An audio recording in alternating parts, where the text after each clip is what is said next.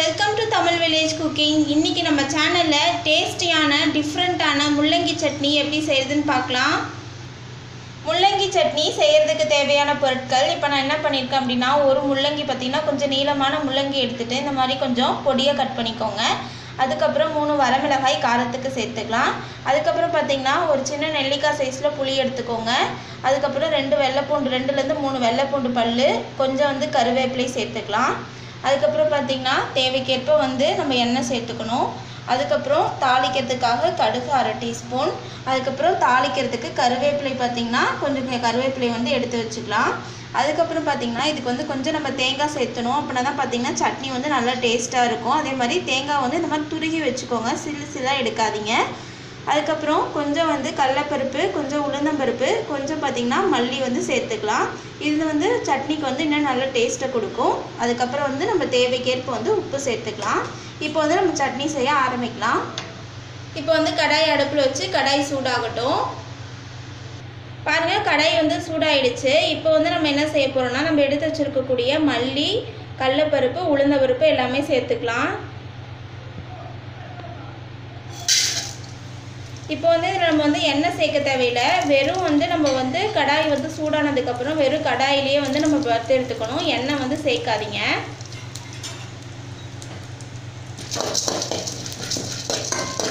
இந்த மாதிரி லைட்டாக வறுத்துக்கோங்க.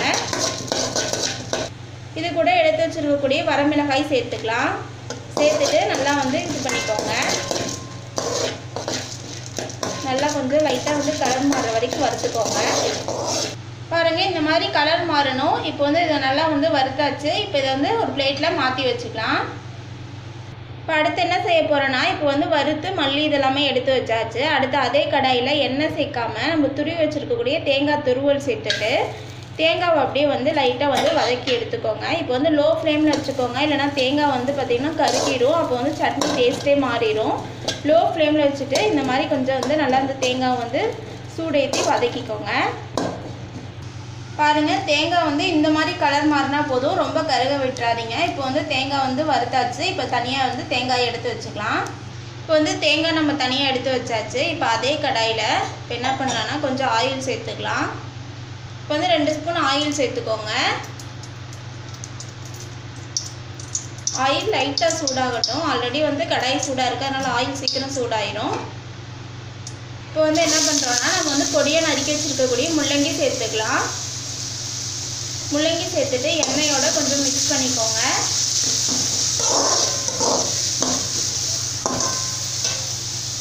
இது கூடயே வந்து நம்ம எடுத்து வச்சிருக்கக்கூடிய மூணு வெள்ளைப்பூண்டு பல் ஒரு நெல்லிக்காய் சைஸ் புளி கொஞ்சம் கருவேப்பிலை எல்லாமே சேர்த்துக்கோங்க. சேர்த்துட்டு இப்போ என்ன பண்ணலான்னா இந்த ஆயிலில் வந்து வதக்கிக்கலாம். இப்போ வந்து இது கூட கொஞ்சம் உப்பு சேர்த்துக்கோங்க. அதுக்கப்புறம் தேவையான அளவு உப்பு சேர்த்துக்கலாம். சட்னியில் வந்து. இப்போ வந்து இது வதங்கிறதுக்காக கொஞ்சம் உப்பு சேர்த்துக்கோங்க. கொஞ்சம் லோ ஃப்ளேமில் வைங்க ஹை ஃப்ளேமில் வச்சுட்டு இதை வதக்காதீங்க. இல்லைனா வந்து அடி பிடிச்சிரும். கலர் மாறிடும். இப்போ அதனால் நல்லா வதக்கி எடுத்துக்கோங்க.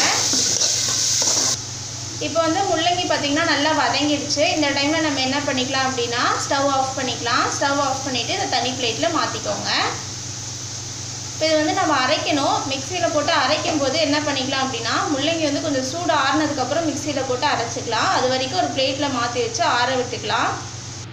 பாருங்கள் நம்ம வந்து வதக்கி வச்சுருக்கக்கூடிய முள்ளங்கி வந்து நல்லா சூடாடிடுச்சு இந்த டைமில் நம்ம மிக்சி ஜாரில் போட்டு சட்னி அரைக்கலாம். இப்போ நான் என்ன பண்ண போகிறேன்னா மிக்சி ஜாரில் நம்ம வந்து ஃபஸ்ட்டு ஃபஸ்ட்டாக வறுத்து வச்சுருக்கக்கூடிய மல்லி கடலை கடலைப்பருப்பு கொஞ்சம் உளுந்தம்பருப்பு அதுக்கப்புறம் மூணு வரமிளகாய் இது எல்லாமே சேர்த்துக்கணும்.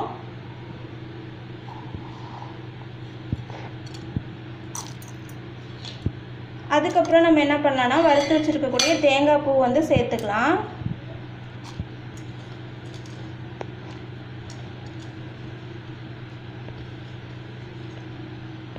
இப்போ வந்து நம்ம வந்து வதக்கி வச்சுருக்கக்கூடிய முள்ளங்கி வந்து சேர்த்துக்கோங்க.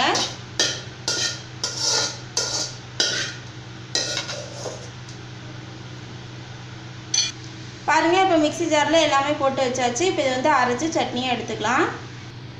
பாருங்கள் சட்னி வந்து அரைச்சி இந்த மாதிரி ஒரு பிளேட்டில் ஒரு கப்பில் மாற்றி வச்சுக்கோங்க. இப்போ வந்து நம்ம சட்னிக்கு தாளிக்கலாம். பாருங்கள் சட்னி வந்து நம்ம தாளிக்கிறதுக்கு நான் என்ன சேர்த்துருக்கேன் அப்படின்னா நார்மல் ஆயில் சேர்த்தாம நல்லெண்ணெய் சேர்த்துருக்கேன். நல்லெண்ணெய் பார்த்தீங்கன்னா உடம்புக்கும் நல்லது மணமாகவும் இருக்கும் டேஸ்ட்டாகவும் இருக்கும் சட்னி பார்க்க. இப்போ வந்து எண்ணெய் சூடாயிடுச்சு. இப்போ இந்த டைமில் வந்து அரை டீஸ்பூன் வந்து கடுகு சேர்த்துக்கோங்க. கடுகு சேர்த்தாச்சு. கடுகு நல்லா பொரியட்டும். பாருங்க கடுகு பொரியுது. இந்த டைமில் நம்ம என்ன பண்ணிக்கலாம்னா கொஞ்சம் கருவேப்பிலை சேர்த்துக்கலாம். கருவேப்பிலை சேர்த்துட்டு அதுக்கப்புறம் ஸ்டவ்வில் வைங்க. ஏன்னா ஸ்டவ்வில் இருக்கும்போதே நம்ம வந்து கருவேப்பிலை சேர்த்தனா வந்து வெடிக்க ஆரம்பிச்சிடும் மேலே தெரிச்சிடும் இப்போ வந்து கருவேப்பிலை கலர் மாறினோடனே நம்ம ஸ்டவ் ஆஃப் பண்ணிக்கலாம். பாருங்கள் தாளிக்கிறதுக்கு நம்ம ரெடி பண்ணியாச்சு. இதை வந்து சட்னிலாம் மிக்ஸ் பண்ணிக்கலாம்.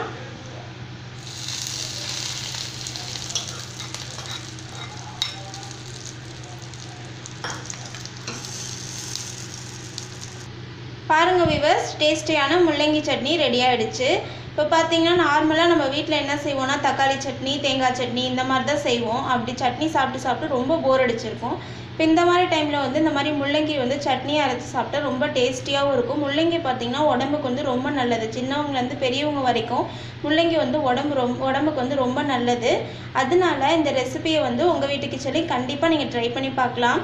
இது பார்த்திங்கன்னா இட்லி தோசைக்கு மட்டும் இல்லாமல் நம்ம சாதத்துக்கும் வந்து போட்டு பிணைஞ்சு சாப்பிட்லாம். நல்லா டேஸ்டியாக இருக்கும்.